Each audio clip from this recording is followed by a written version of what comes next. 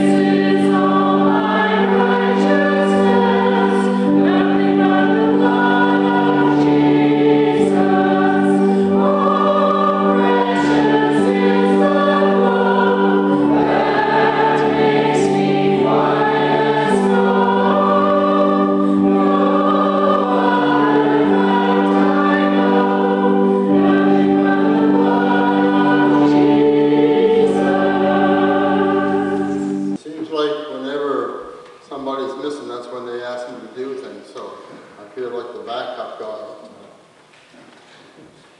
So rather than ring up all these gadgets on me, I'll use this here.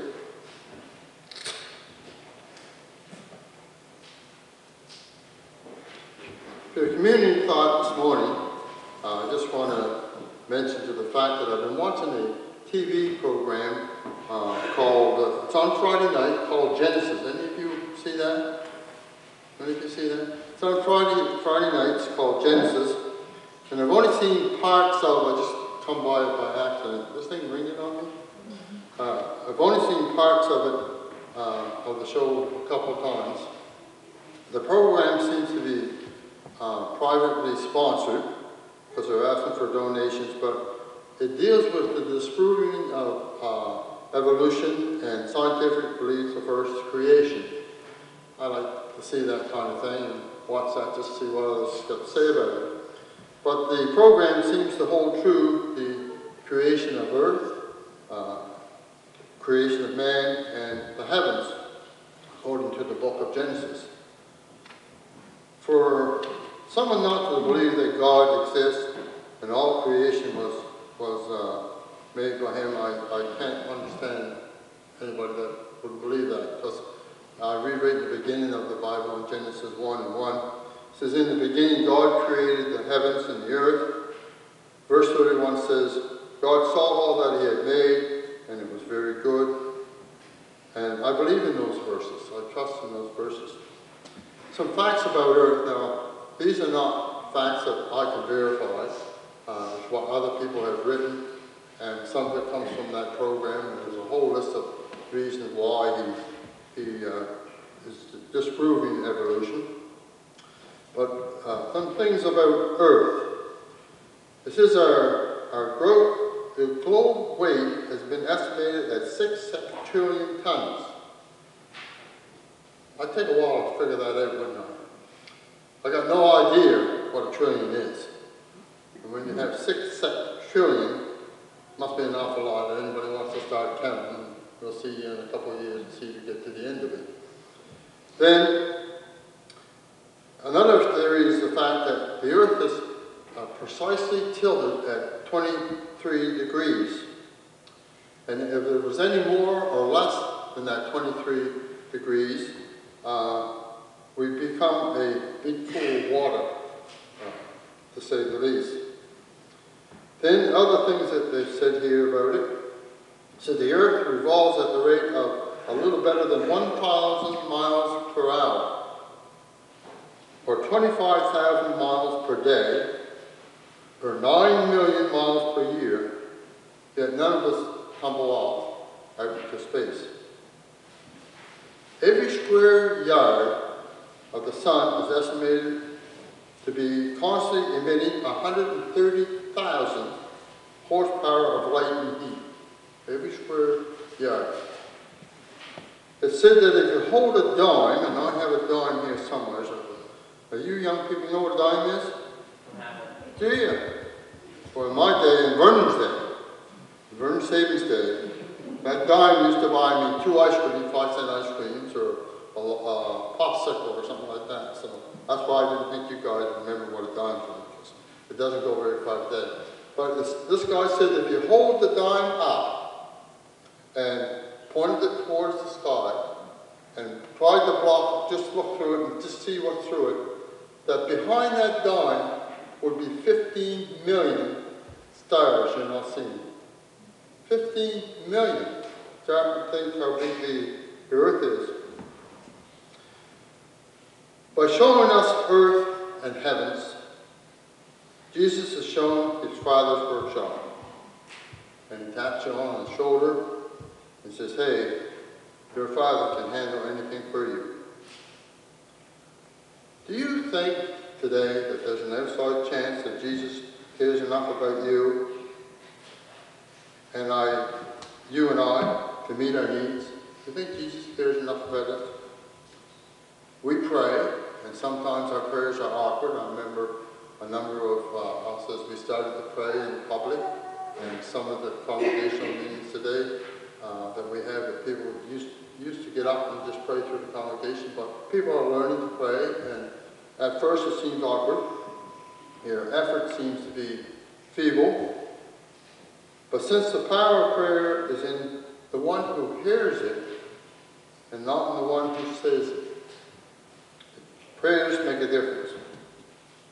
Creation helps to prove the existence of God. Jesus confirmed his care for us by giving of his life. What more do we need? What more do we need? As we gather around this table this morning, I'd ask Stephen to give thanks for the cup and the loaf as we will hold the cup on the last end and take it together. Heavenly Father, as we gather around this table this morning, we give you thanks for the many things that you've created. But the thing we give the most thanks for is the gift of your Son that you sent to earth to be here with us, to die on the cross for us, for our sins. As we come here this morning, we ask you to bless this loaf and bless this cup, which is a symbol of that body and blood that you shed for us. We ask this in your Son's name. Amen. One thing that you should take comfort in, Sonny, is when you come off the bench, the most popular guy on the team is the backup. Uh, and you should take comfort in that. It's true. the backup guy is the most popular. Most popular guy on the team is the backup, right? It's true. The starters that get criticized. Hmm. It's always that way. Uh, the ladies' retreat. Man, I've heard some awesome stuff from the ladies' retreat. I, I think we ought to just give God some glory.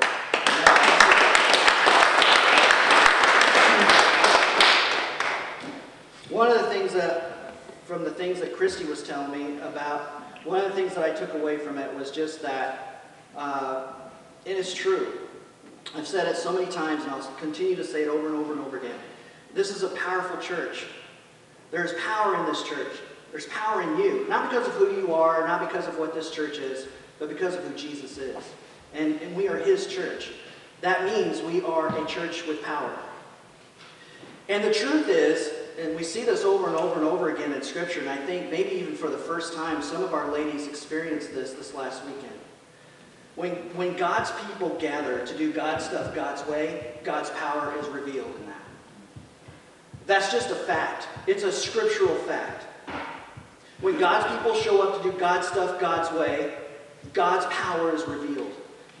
When I humble myself and I reveal how powerful God is and how less I am, make more out of God, make less out of me, anytime that I, I do that, I reveal the power of God. When I share how God is working in my life and what He's giving to me, when I make it about God, God's power is revealed in that. Every time we gather as a church, we can experience the power of God together if we decrease and allow God to increase. And I believe that that's what the ladies experienced this last weekend. And, and I think that's fantastic. And I, I, I hope and I want to encourage you more and more. And I want to thank the ladies for being an example in that. I want to thank you for being an example in that. Uh, I'm very proud of you in that. My grandma's favorite song was I Got a Mansion. The song that we sang, the, the choir sang this morning. When I was a kid, we had these uh, weekly family, or not weekly, monthly family sing-alongs. Uh, my grandma really enjoyed getting the family together, and we'd, we'd sing in her living room. Of course, I grew up in a family that believed that if you worship with an instrument, you were going to hell. So it was just, it was just voices. Um, but, uh, but her favorite song was Mansions Over the Hilltop, so we would sing that all the time. And I remember one time, I was just a little kid, and I remember one time saying, and this was years and years ago too, by the way. So I was, and I just remember one time we sang that song, and I said, Grandma, I, I don't like that song. She was like, what? I was like, yeah, I don't like that song. I don't want a harp. Uh-huh. I want an Atari. and my grandma said, well, you're going to get what Jesus gives you.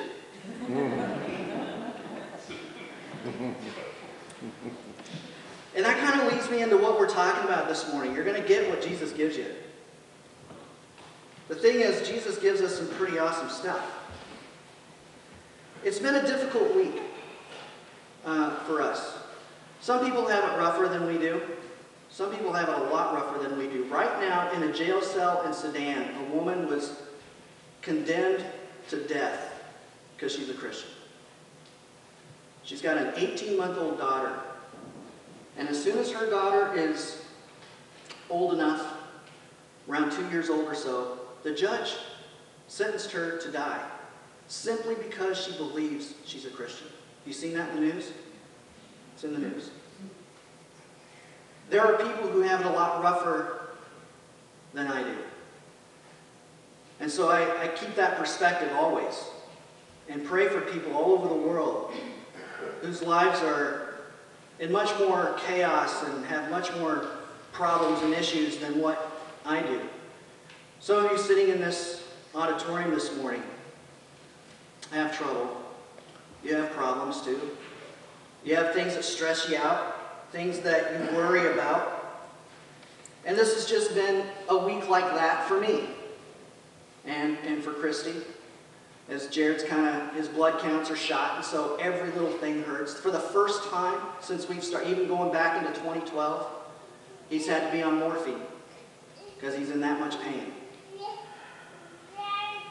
And it's, it's really tough as a parent to see your child in that much pain. So it, it's been tough. And I read this on Monday from Jesus. John 14 says this I'm leaving you with a gift. You're going to get what Jesus gives you.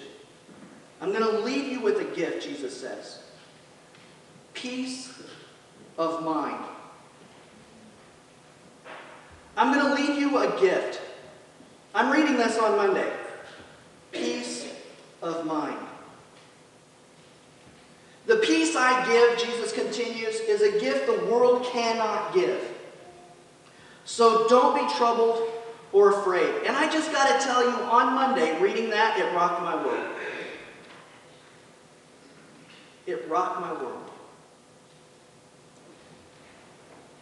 Earlier in the week, before Jesus had said, said this in, in his life, what was taking place in his life at this time, earlier in that week, he was welcomed into the city of Jerusalem by a mob, and they were, they were uh, strung out along the main street of Jerusalem, and they were yelling and they were demonstrating for Jesus. Thousands thronged around him.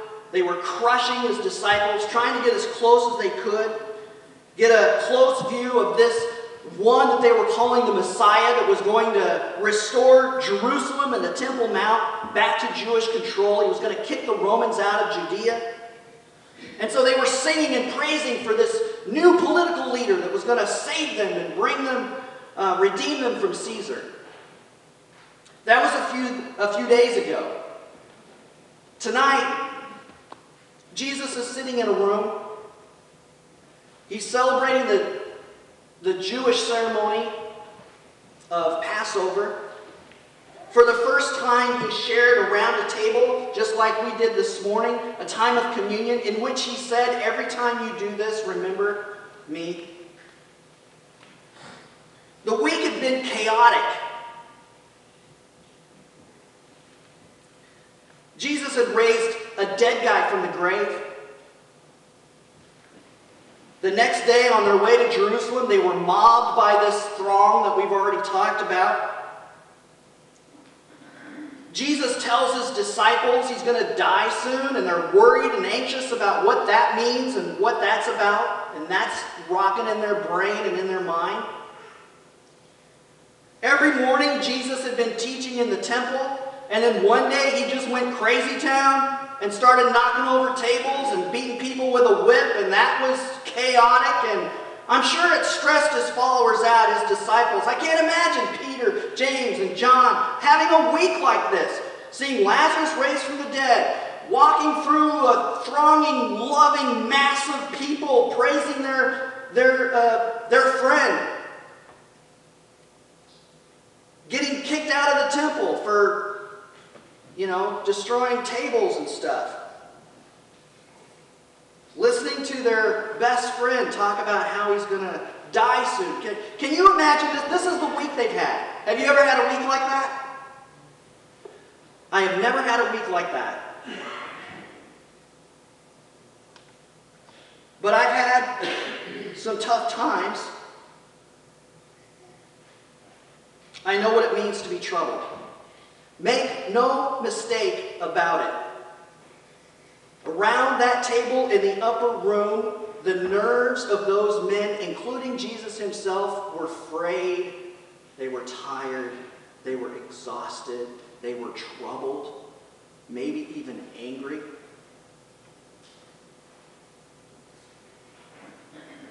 Have you ever felt that way? Have you ever heard bad news? You ever been troubled? So I can relate to these guys in that way. Can you?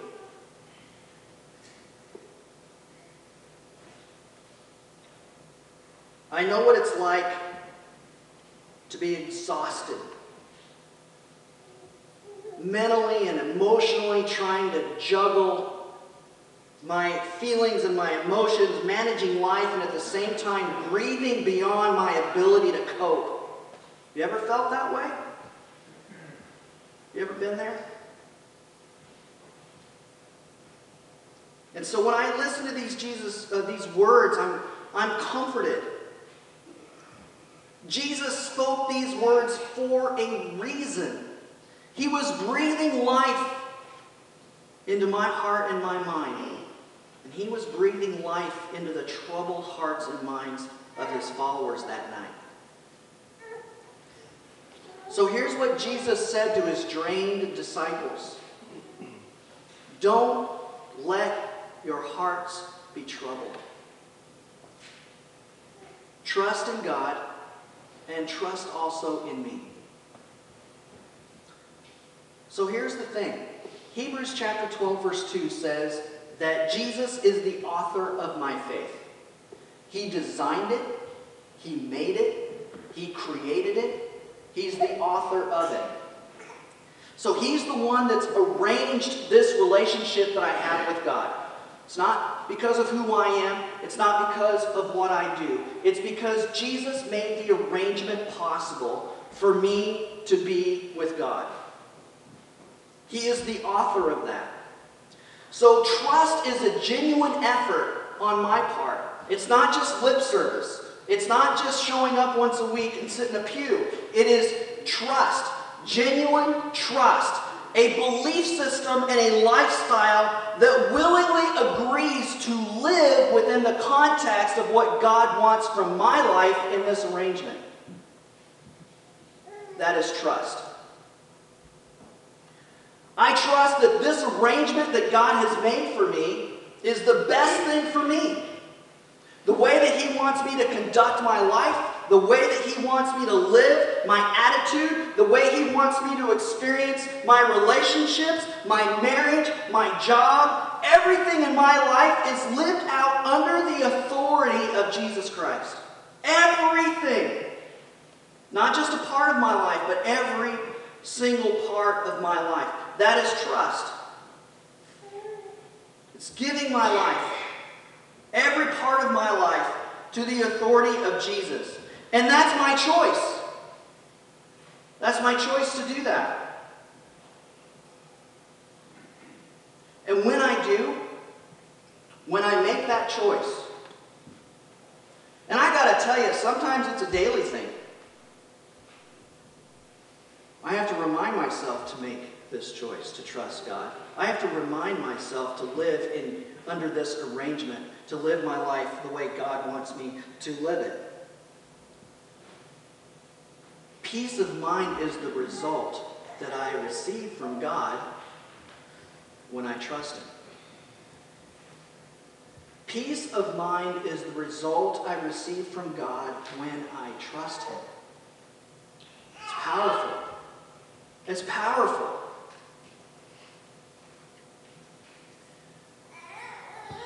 Moms are, moms are fickle. They change really fast. The same mob that loved Jesus and was shouting songs of praise to him has now turned against him. Jesus isn't acting the way they wanted him to act. He's not doing the things that they think a political leader who's going to kick Caesar's, uh, Caesar out of Judea is acting.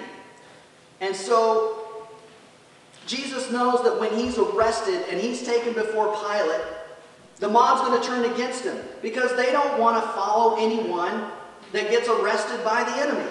That kind of defeats the purpose of the Messiah. It's not what they're expecting. So they believe Jesus to be a fraud. On that day, they're going to be disappointed. They're going to be disenfranchised. They're going to be discouraged and angry that Jesus let them down. And they're going to let him know it. They'll shout again, but instead of praises, they'll be asking for his execution. And Jesus knows all this. And then what he says next continues to rock my world because now Jesus says this I'm leaving you with a gift peace of mind and heart. And the peace I give is a gift the world cannot give, so don't be troubled or afraid. Jesus said that, knowing what was going to happen. So I want to just talk for a moment about what this peace of mind is. I don't know, do you want it? I mean, have you ever really wanted peace of mind? Does that sound like a cool, awesome thing to have? Peace of mind and heart? Here's the thing many people say they're believers, and they think that everyone's going to go to heaven. And I know that because that's how they live. They live they say they're Christians, but they live the way they want to live. They don't live it for God's glory, they're just doing what they want. And they obviously must think that it doesn't matter. God's going to something magic's going to happen and they'll be fine. Many people believe that. In the preface of his book, Love Wins, I don't know if you've read this book or not. It's a guy, it's a book by the name of uh, Rob Bell. In his preface, he writes this, and a lot of Christians, a lot of people who profess faith believe this. I've written this book for all those everywhere who, who have heard some version of the Jesus story that caused their pulse to rise, their stomach to churn, and their heart to utter those resolute words, I would never be a part of that. And you are not alone. There are millions of us. I don't recommend the book, but if you read it, there, I put a link in my blog for a response from a respected biblical scholar. But Jesus teaches something that Rob Bell does not acknowledge, and that is that obeying Jesus is the only way to go to heaven. That's what Jesus says over and over and over. He says it again in John 14, the same chapter we're reading. Rob says there's millions of people who struggle with that message. Well, no doubt. It's been like that since Jesus was speaking those words. In John chapter 6, it said a whole boatload of them left him. So, unfortunately for Rob, he doesn't have the authority to change the truth. Nobody does. But what Jesus makes clear is that if you want the peace of mind he offers, you've got to obey him first. You've got to obey Jesus. That's what Jesus said. And I know it's, I, I understand the struggle. I got to tell you, I really do, because I struggle with, I'm, I'm human. I, there are days I don't want to do what God wants me to do. I'm just being frank with you. You may not want to hear that from your preacher, but it's true. I really struggle with my human nature sometimes. I can be downright selfish. Don't talk to my kids about that. But it's true. I struggle with it. I understand. But if I want the peace of mind that Jesus is offering, if I want this gift that is going to eliminate the troubles of my heart, I'm going to obey Him. The questions that you, you need to be asking are do, do you want to live for Him? Do you want to give your life for Him? Do you want to give up your selfish nature and live His way? And there are many, many, many, many, many, many, many people maybe even some who are sitting here this morning, who have absolutely and defiantly said, No, I do not want to live for Jesus. Give me the heaven stuff, give me the grace stuff, give me the mercy stuff. I want that stuff. But letting go of what I want, mm, no, I'm sorry. I don't want to do that. I just want to live the way I want to live, and I want God to bless me anyway. And Rob Bell and other people that believe like him would tell you, hey, that's not a problem. That's the kind of God he believes in. And I got to tell you, I want to. I want to believe in a God like that because that would make it a lot easier. I'm going to live the way I want to live, have all the fun I want to have, and then live my life my way, and then expect God's just going to save me. I want that. But it doesn't work that way.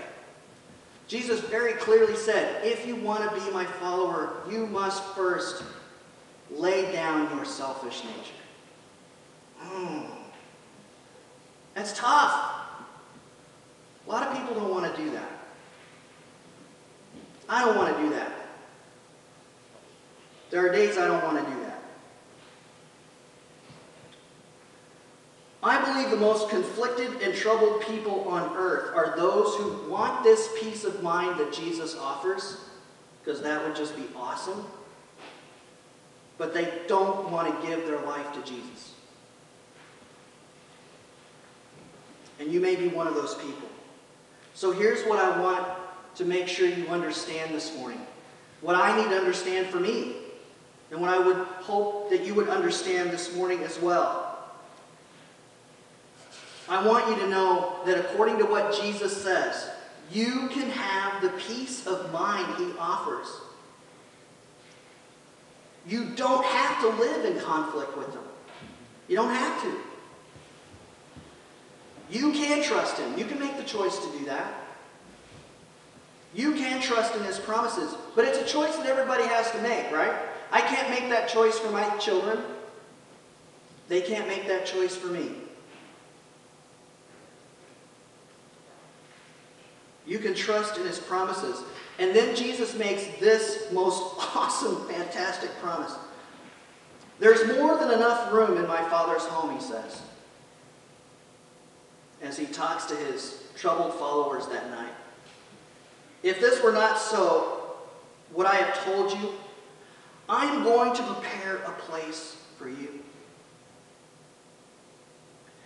Heaven's called a lot of things in the Bible. I'm going to ask Nancy to make her way on up here. We're going to close here. Heaven's been called a lot of things a country, a city, a kingdom. But here, when Jesus wants to comfort his followers who are troubled and, and full of worry and anxiety, and they're exhausted and they're tired. If you've ever felt that way, here's what Jesus says. He, he doesn't call heaven in that moment country or a city or a kingdom. You know what he calls it in that moment? When you need the most comfort, when you need the most help, you know what Jesus calls heaven? He calls it home. He calls it dad's house. That's heaven. Dad's house. And you're welcome there. You're welcomed at his, his dad's house. Home is where you're comfortable. Home is where you belong. Marian Anderson, she was one of the most celebrated singers of the 20th century. She was once asked, What is the most memorable moment of your life? And when she answered, she didn't mention the time that she sang before the President of the United States. That was not the most memorable moment of her life. She didn't mention the time she was invited to sing before the King and Queen of England. That was not the most memorable point in her life. She didn't mention the time she sang before almost 80,000 people for an Easter morning service in Washington, D.C. She didn't mention that time either. She said the most memorable moment of my life was the day that I went home to my mom and told her, Mama, you don't have to do other people's laundry anymore. That's the most memorable moment of my life, Marian Anderson said. In essence, this is what Jesus is telling you and me this morning. He's telling us the same thing. They were troubled, those guys. They were worried. I've been there. I am there. They were confused, conflicted, and I've been there too. Maybe even angry. I've been there. And so Jesus tells them there's a time and a place where and when you won't have to deal with these troubles and these problems anymore. There is a time and a place where you won't have to do your dirty laundry. There is a time and place when that will happen. Every day, multiple times a day, I need this message from John 14. I need these words of Jesus in my heart and in my mind. I need this peace of mind. I need this gift of the Holy Spirit. I give my life to Jesus. It's my choice because I love him. Because he loves me. And because he loves me, he gives me peace of mind. Peace of mind. Doesn't matter what trouble is bothering me. And I'm going to tell you something. Even if I were sitting in a jail in Sudan awaiting execution, these words would bring power. This is power. Holy Spirit power. Jesus absolutely rocks my world. Let's pray. Jesus, we're going to we're going to get what you give. And we couldn't be more grateful for that. Thank you. Uh, there's your words are power. You tell us that. You tell us in the Bible that your word is living and active. It's powerful. It's life. Jesus called it the bread of life. We are so grateful, God, for these words that give us power. It was no accident that Jesus said these specific things on a night where his followers were the most troubled they've ever been in their life. It was not a coincidence. Jesus intentionally said, in that moment, trust in God. Trust in me. You said that. So that our hearts can be at peace. So our minds can be at peace. And I'm just so grateful, God, for those words and for the way that you intentionally speak into our life. And through the power of your Spirit, you bring those words to life in such a way that we overcome. We overcome. It's joy. Joy replaces fear. Hope replaces uh, anxiety.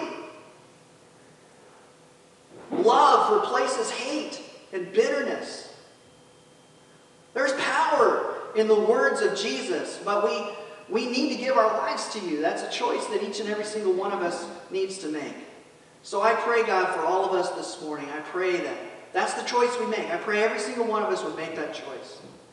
If there's anyone that's conflicted here this morning, still struggling with that trust thing, I just pray, God, that they'll just open their hearts and minds to, to know that you mean what you say. You say what you mean, and it's power. Pure, awesome power. And we thank you, God, for that. I just want to continue, God, to say thanks for all of the help and support and gifts that we've received, not only from this church, but from the community and, and from your church worldwide. And we're just grateful, God, for the prayers that go up. But not only for, for us, but for, for everyone who struggles. You hear so many prayers all of the time from all over the world. And our prayers go out for, for those who are sitting in jail cells, for those who are being persecuted, for those whose stories right now are a whole lot worse than our own. And we pray for them. And I pray, God, that they're hearing your words and experiencing your power. Just as your followers did, who sat around that table that day. Most of them, all of them except for one, executed as well for what they believed. But they're in that home. They're in your home. And that's where we want to be. We want to be at home with you. So thank you, God, for making that arrangement possible. And I pray all of this in Jesus' name. Amen.